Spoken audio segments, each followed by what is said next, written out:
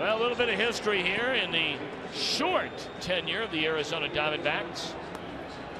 For the first time in four years, a position player takes the mound for the D-backs. Steve Finley now on the pitch. Well, he's got a good arm. Throw strikes. The old number one, I think.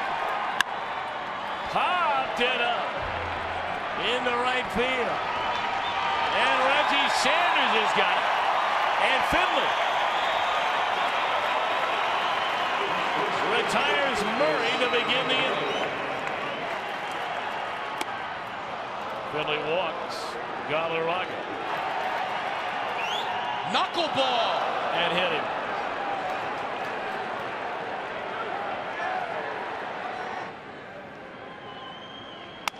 And he might get it. One.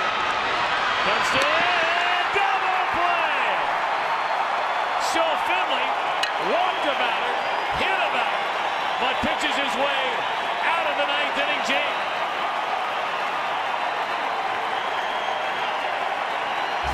Just like you drew it up.